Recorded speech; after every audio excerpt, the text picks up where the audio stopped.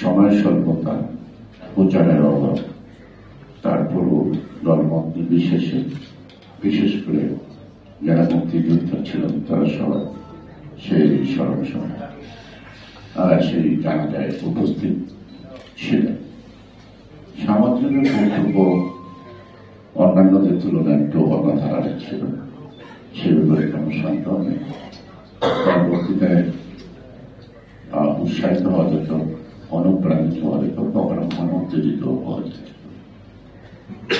সকল পক্ষে এখন বক্তৃতা দেয় না কারণ সামঞ্জনের মধ্যে বক্তৃতার বৈচিত্র্যতা ছিল এই বৈচিত্র্যতার মধ্যে তিনি মাঝে মাঝে করতেন হিউমার বক্তব্য কিন্তু কঠিন সবাই পারে না হিউমারের মধ্য দিয়ে অনেক কঠিন কথাগুলো যদি সহজ করে বোঝানোর চেষ্টা করা হয় কিন্তু সামঞ্জনের অতিমাত্রায় হিউমার কখনো কখনো ভালগারিজম হিসেবে বিবেচিত সেখানে তিনি নিজের যেমন সাবকার চত্বরে তিনি জাতীয় পার্টির মহাসচিব থাকাকালীন সময় বাংলাদেশের দুর্নীতি সম্বন্ধে হিউমার করতে যথেষ্ট সমালোচিত হয়েছে। এমনকি রাজনৈতিক নেতা কর্মীদের আক্রোশ এবং আক্রমণেরও শিকার করতে হয়েছিল তাকে। কিন্তু সত্যি কথা। সুতরাং সামাজিক জীবন একটা জীবন তিনি যখন নেন ছাত্রবৃত্তি সেটা সম্ভবত উনিশশো বাষট্টি সালে শিক্ষা আন্দোলনের সময়। তখন আমি অষ্টম শ্রেণির ছাত্র। সামঞ্জস্যের বয়সে আমি এক যুগের ছোট, অর্থাৎ বারো বছরের ছোট। তার মধ্যে বহু কিছু খাতা খাতা কিনতে ছিলাম বাংলা বাজারে জগন্নাথ কলেজের ছাত্ররা তার বুকলেট বিতরণ করছিল শিক্ষা প্রতিষ্ঠান ধারণ যেহেতু গ্রামের পরেই সেখানে বিদ্যুতের আলো ছিল না হারিকেন কবি ছিল আমাদের সম্পদ। সেই কারণে রাজনৈতিক ক্ষেত্রে অনেক জনগোষ্ঠী থাকাটাই স্বাভাবিক। কিন্তু রিপ্লেটগুলি হাতে পেয়ে তাকে জিজ্ঞেস করতেছিলাম যে ভাই কিসের দরকার তখন তারা বলল, ছাত্রদের ধর্মঘটে কি করতে হয়? স্কুল বন্ধ রাখতে হবে। অর্থাৎ ধর্মঘট মানে স্কুল বন্ধ। সেই বিষয়টা তখন আমি সচেতন। না আজকের মতো যারা স্কুলে ছিল তারা তার জন্য যে আমাকে আর একটা চিঠি দিল আমি যথারীতি খরাদের স্কুলে গিয়ে ডিপ্লেগুলি বিতরণ করলাম এবং আমাদের স্কুলের হেডমাস্টার যিনি ছিলেন, তিনি পরবর্তী করে এমপি তিনি রাজনীতি করতেন। আমাদের মধ্যে থেকে হেডমাস্টার বাধা না দিয়ে মনে মনে খুশি হচ্ছে এবং ধর্মঘটের একদিন আমার স্কুল বন্ধ জন্য সাত দিন কারণ ওটাও জানা নেই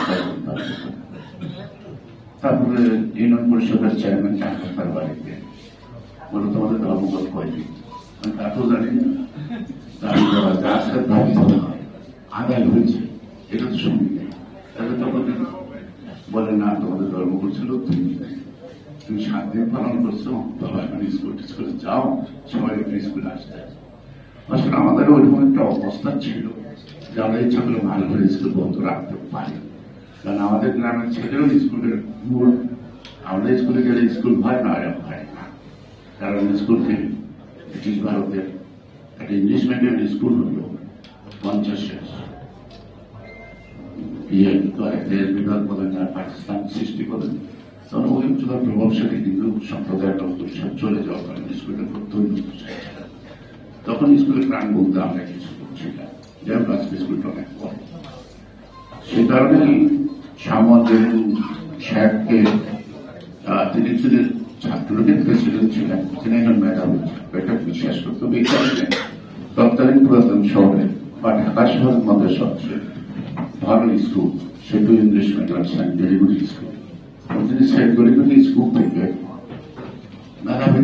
আহ, সর্বোচ্চ অবস্থান তিনি কৃতিত্বের সাথে তিনি তৎকালীন মেট্রিক পাস করছেন। পরবর্তী ঢাকা কলেজে সেখানে বোধহয় সংসদে জিএস হয়েছিলেন পরবর্তী পর্যায়ে তিনি জগন্নাথ কলেজে গ্র্যাজুয়েশন সেখানেও তিনি জগন্নাথ কলেজে ডিগ্রি হয়েছেন।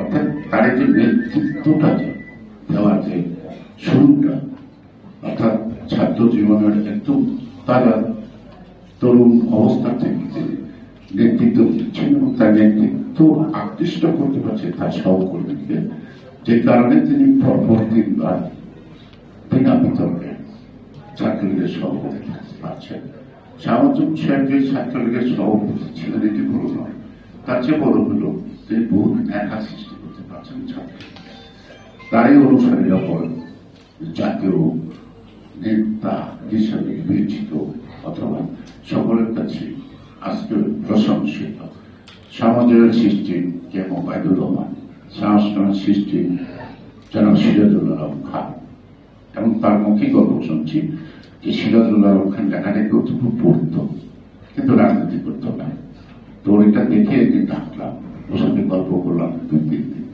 এক পর্যায়ে তাকে রাজি করতে পারলাম, সে রাজনীতি করবে। তারপরে তিনি সিরাজুল আলমকে রাজনীতিতে মানে সক্রিয় করলেন। তার যে উদ্দেশ্য খান এক সময় ছাত্রলীগের সেক্রেটারি ওবায়দুর রহমান ছাত্রলীগের প্রেসিডেন্ট তার সময় শিক্ষাউদ্দিন মনি সেক্রেটারি, সেই আবার এক সময় প্রেসিডেন্ট।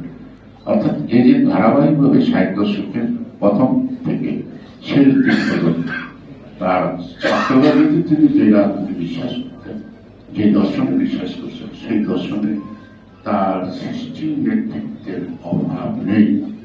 এবং তারাই আজকে জাতীয় রাজনীতিতে কৃতিত্ব বা প্রশংসা অর্জন করার মধ্য দিয়ে প্রায় বিলীনের পথে আর কয়েক বছর পর হয়তো বা সেই সময়কার রাজনীতিবিদ বা সিদ্ধান্তকে সৃষ্ট রাজনীতিবিদ আর থাকবে না। আমাদের দেশের জ্ঞানীগুণী লোক যারা আছেন, তারা সাধারণত রাজনীতিবিদদের অনেকটা মানে কি অজ্ঞ বা মূর্খ ভাবতে থাকে কিন্তু সামঞ্জনের মতো রাজনীতিবিদটা কিন্তু প্রমাণ করছে যে মুখ মানে মেধাবীরা রাজনীতি করে এবং একটা সময় মেধাবীরা রাজনীতি করত ক্রমান্বয়ে রাজনীতির অবক্ষয় দর্শনের চেয়ে ক্ষমতা বেশি ক্ষমতার চেয়ে সম্পদ বেশি দরকার সেই কারণেই আজকে রাজনৈতিক সম্পদ থেকে রাজনীতিবিদ বিতাড়িত হচ্ছে অথবা ঘরে কোণে চলে যাচ্ছে কিন্তু দখল করছে। অর্থবিত্তওয়ালা মূর্খ এবং লুটপাটের অভ্যস্ত আজকের এই যে সময়টা আমরা আলোচনা করছি, এই সময়টার মধ্যে রাজনীতিবিদদের হাতে রাজনীতি কতটুকু আছে, বিবেচনার বিষয়। এখন রাজনীতি, রাজনীতিটা চলে গেছে সব কর্পোরেট হাউসের কাছে। অর্থাৎ এই কর্পোরেট হাউসের যারা মালিক, তারা যেমন সংসদ নিয়ন্ত্রণ করছে, তারা যেমন প্রধানমন্ত্রী নিয়ন্ত্রণ করছে। তেমন তারা মন্ত্রীকে নিয়ন্ত্রণ করছে। তেমনি তাদেরকে মানে গরু ছাগলের হাটের মতো রাজনীতি নিতে ব্যথা কেনা হচ্ছে এইটাই হচ্ছে আমাদের কিন্তু আজকে সকল আন্দোলন সংগ্রামের ক্ষেত্রে। বা একটা পরিবর্তনের ক্ষেত্রে একটা বড় বাধা।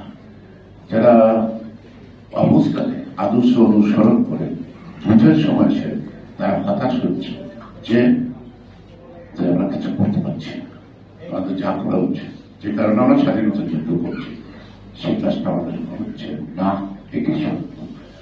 সমাজন সাহেব তার সঙ্গে অনেক বলছেন, তিনি যেমন ছাত্রলীগ করছেন, তিনি তখন খুব কঠিন বক্তা ছিলেন।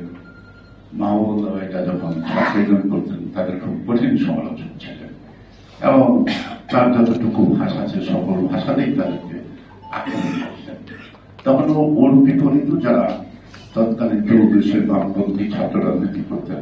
তাদের মধ্যে ধোকা ধোকার বক্তা ছিল, যারা এটাকে খণ্ডন করতেন তবে তখন লাঠির যুদ্ধ হতো না, তখন হতো বাঘ যুদ্ধ। অর্থাৎ বক্তৃতা প্রতিযোগিতা। আর এই প্রতিযোগিতার মাঠে কিন্তু সাধারণ ছাত্ররা বেছে নিত তারা কোন দল শুধু এই বক্তৃতার মাঝে, কোনো ব্যক্তির বক্তৃতা শুনো কেউ কেউ ওই দলের অনুসারী হয়ে গেছে। সেটা তো আজকাল নাই। তখন তো রাজনীতি কত কম লোক। অনুসরণ করতে বেশি লোক। এখন মনে হয় সবাই রাজনীতি করে সে কারণেই আজকে যে বক্তৃতার যে একটা আকর্ষণ, বক্তৃতাতে যে মানুষকে পরিবর্তন করা যায়, বক্তৃতাতে যে মানুষকে উৎসাহিত করা যায়, এটা অনেক ক্ষেত্রেই একটু খর্ব হয়েছে। এখন বক্তৃতার চেয়ে বেশি আকর্ষণ করতে পারে অর্থ যারা আছেন অর্থাৎ অর্থই হয়েছে এখন মূল। আজকে রাজনীতিবিদরা কিন্তু বাসে চলে না। আজকে রাজনীতিবিদরা কিন্তু ট্রেনে চলে না। আজকে রাজনীতিবিদ মানে হলো বাজারও পাড়ারও অর্থাৎ মার্সিডিজ বেঞ্জে যদি চলে জনসভায় না নামে, তাহলে তাকে রাজনীতিবিদ বলা যায় না। সেভাবে সে সমাধিত হন না। কেউ যদি রিক্সায় চলে নামে, হয়তো তাকে কেউ দেখবেই না। তার ওই মঞ্চে যেতে যেতেই অর্থাৎ হায়াতের কিছুটা সময় নষ্ট হয়ে যাবে। কিন্তু একটা বড় ভাড়ারও গাড়িতে যদি নামে, তাহলে হুমড়ি খেয়ে পড়ে সবাই যে বলেন না। এই যে পরিবর্তনগুলি আমাদের, আর এই পরিবর্তনগুলির কারণে কিন্তু আজকে লুটপাটকারীরা বা ফেসিবাদ বলেন, যা বলেন না কেন, আজকে তারা একটা আসছে।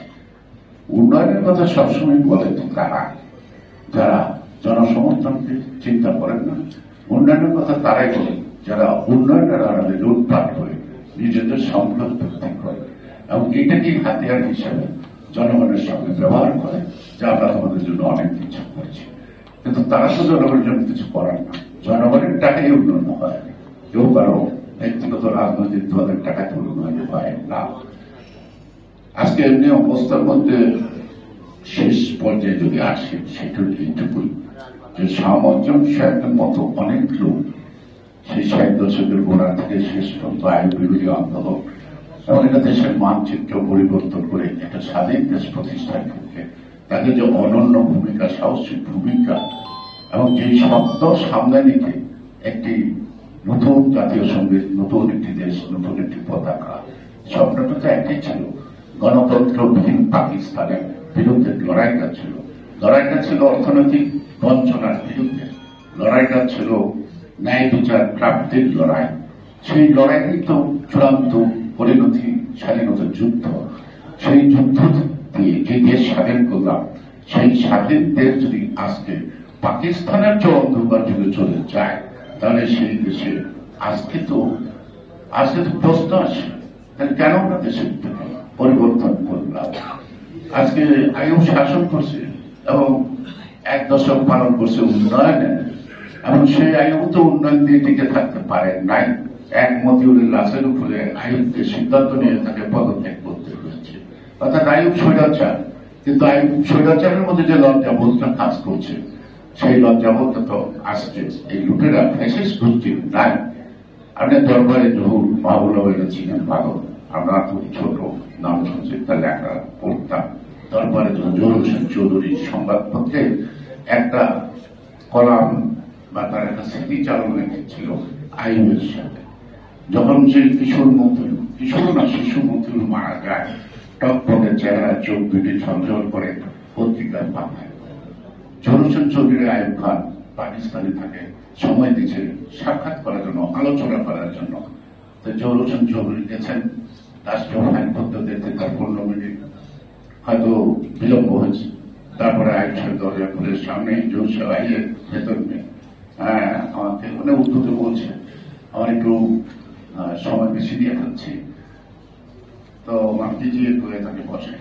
বসানোর পরে পত্রিকার পাতাটা তার হাতে শুনলেন দিলেন।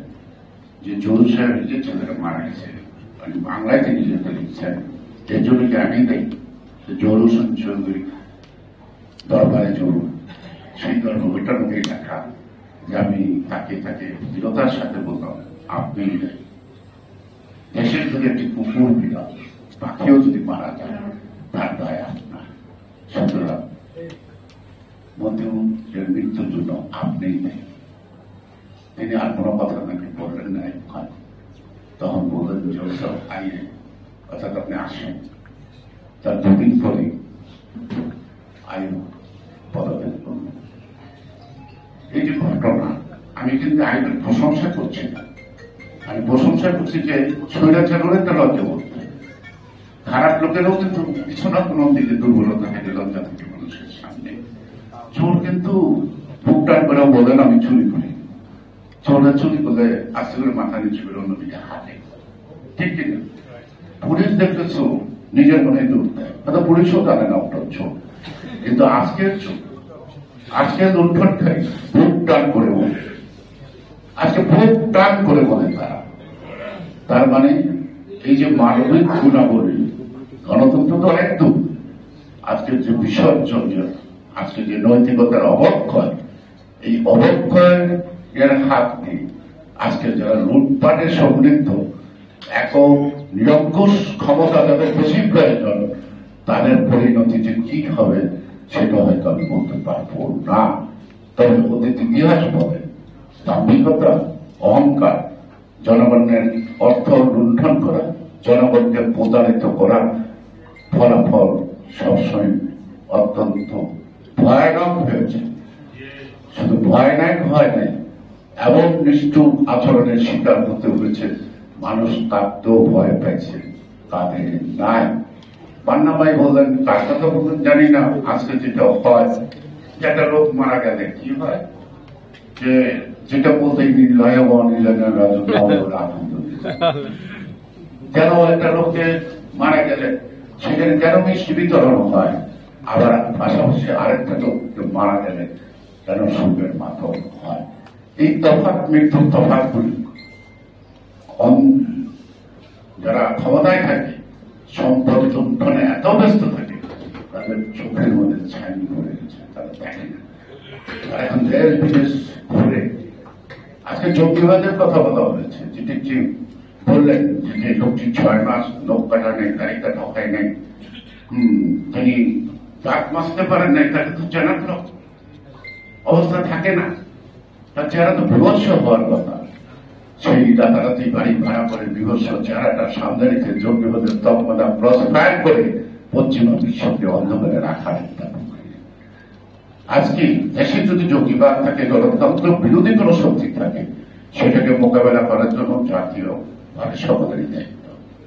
ঠিক পাশাপাশি জঙ্গিবাদকে পুঁজি করে যারা লুটপাট করে দেশটাকে বরবাদ করছে, তাদের বিরুদ্ধে কিন্তু রুখে দাঁড়ানো একইভাবে সকলের কাম্য। এদের কিছু জাতীয় ঐক্যের ইঙ্গিত দিয়েছেন বাংলা বাহিনী। এবং অনেকদিন ধরেই জাতীয় ঐক্যের একটি করে মাঠের মধ্যে তো অনেক আগে। সবসময় এমনি জাতি যখন বিব্রত করে তখন সারা দেশের মানুষের একটা ঐক্যবদ্ধ প্রচেষ্টা চায়। এবং অতীতে যতবার জাতীয় ঐক্য হয়েছে, সেই জাতীয় ঐক্য কখনো পিঠা ঐক্যে জাতীয় ঐক্যের প্রাপ্ত ফসল কারগুলাই গেছে সেগুলো বড় বড় অন্য কথা কিন্তু আজকে জাতীয় ঐক্যের পাশাপাশি যাতে এই ফসল জনগণের ফেলায় যায়, সেই চিন্তা ভাবনা কিন্তু বিএনপি করছে। ইতিমধ্যে আপনারা শুনছেন। আমিও আশ্বস্ত করছি। আমরা আমাদের পক্ষ থেকে জাতীয় ঐক্যের ব্যাপারে একসঙ্গে পথ চালাবো, পাশাপাশি পথ চালাবো, অথবা আলাদা আলাদা মঞ্চেই হোক, আলাদা আলাদা রাস্তায় হোক, অর্থাৎ আমরা একযোগে কাজ করতে চাই। সেটা যুগপথ সে যুগপথ হয়তো তার আবেগ যদি একটি জায়গায় যায় এবং জনগণের এই গ্রহণযোগ্যতা যখন তাদের জনগণ যখন আসবে, তখন আলাদা আলাদা লোকগুলিকে কখন এক করে দিবে, সেটা কিন্তু আঁকা বলা যায় সুতরাং আমরা যদি সুষ্ঠু অবাধ নির্বাচন, আমরা যদি ফেসিবাদের হাত থেকে রক্ষা করতে চাই, আমরা লুটপাট পার্টিদেরকে রাষ্ট্রীয় ক্ষমতার থেকে গণতন্ত্র ভাবে যে আন্দোলন আছে, সেই আন্দোলনের মধ্যে যদি আমরা মুক্ত করতে চাই, তাহলে আমাদের ন্যূনতম কর্মসূচির ভিত্তিতে আমরা যে জাতীয় ঐক্যের কথা আমরা বলেছি, সেটা নিয়ে আলোচনা হবে খুব শীঘ্রই সেটা সমাধান হবে। তার পাশাপাশি আরেকটি কথা আছে, অতীতের যে তিক্ততা, অর্থাৎ প্রতারণা উনসত্তর তো জাতীয় হয়েছিল এবং জাতীয় ঐক্যটা কোথায় গিয়ে দাঁড়াচ্ছিল? সেই ঐক্য দিয়ে সত্তরের নির্বাচন শেষ পর্যন্ত একাত্তরের স্বাধীনতার যুদ্ধবন্দিত থাকল তো যুদ্ধের ফসলটা যখন এক গোড়ায় চলে গেল, সাড়ে তিন বছর কিছু দিবার পারল না। জনগণ মাথা ব্যথা কিন্তু তারা যেটা করল কম্পালসরি থেকে আরম্ভ করে চুরি এটা সেটা অনেক কথা ব্যাগ ডাকাতি, এটা তো জনগণ মেনে নিতে পারে তিন বছর কিছু দিতে পারব না। এটা মাইনে নিছে কিন্তু তিন বছরের যেটা জনগণের উপরে দিচ্ছে, সেটা তো মেনে নিতে পারে নাই জনগণ। সেই কারণেই যে জাতীয় রূপরেখা, যে রূপরেখাটা আমার ডাইনারে যারা আছেন, তারা অনেকে জানেন, এটাতে তারা অনেক পরিশ্রম করছেন, কাজ করছেন, তাদের পরিশ্রমের ফসলকে আমরা হয়তো একসময় হাজির করব। কিন্তু সেটা হাজির, অর্থাৎ জাতীয় ঐক্যের মধ্য দিয়ে ফেসিবাদের পতন সুষ্ঠু অবাধ নির্বাচনের পরবর্তী পর্যায়ে রাষ্ট্র মেরামত অথবা বর্তমান রাষ্ট্রের চেহারা রূপান্তরের মধ্যে মাধ্যমে প্রকৃত গণতান্ত্রিক রাষ্ট্রের একটি চেহারা ফুটে তুলতে হবে, তাই না? তাহলে আসুন আমরা সব প্রথম। এক জায়গায় আসি, সরকারটাকে হটানো সুস্থ নির্বাচনটা আদায় করার ক্ষেত্রে। এবং হাঁটতে হাঁটতে আন্দোলনে চলতে চলতেই আমরা আমাদের আগামী দিনে যে স্বপ্ন, সেই স্বপ্নগুলি বসে আমরা এক সময় এক সময় প্রকাশ করতে পারব। চূড়ান্ত রায়ের আগেই পারব চূড়ান্ত রায়ের আগেই পারব কিন্তু এই যে সাজানো মুজাফর নিয়ে যদি মতদত্ততা দেখা দেয় তাহলে আর আমরা ওইভাবে হাঁটতে পারব না বলে আমার মন ধারণা। কিন্তু যেই রূপরেখা আসবে, সেই রূপরেখা সাধনার ব্যাপার।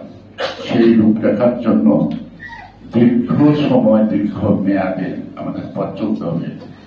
রাতারাতি কিন্তু যেই স্বপ্ন আমরা দেখতে চাই, আজকে হাসিনা গেলে তারপর যদি সেটা দৃশ্যমান হবে এটা কল্পনায় হতে পারে, বাস্তবতায় না পড়ে না। তার প্রথমত আবর্জনা পরিষ্কার করবেন, নাকি? তারপরে তারপরে পরিচ্ছন্ন করবেন, তারপরে তো আপনার রং তৈরি কোথায় কি করবেন পরের কথা। তাহলে আমরা আগের কাজটা করি, সরকার পরিবর্তনে, আর এই সরকার পরিবর্তনের আন্দোলনের মাঝখানে বসে বসে আমরা আগামী দিন যে রাষ্ট্রটাকে বিনির্মাণ করতে চাই।